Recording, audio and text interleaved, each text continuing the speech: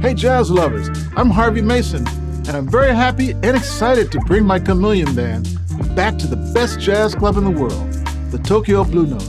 September 15th, 16th, and 17th. And the band will feature the keyboard DJ wizardry of Mark de Clive-Lowe, saxophonist extraordinaire Hailey Niswanger, and my special guest, Felix Pastorius, whose name defines his incredible talent.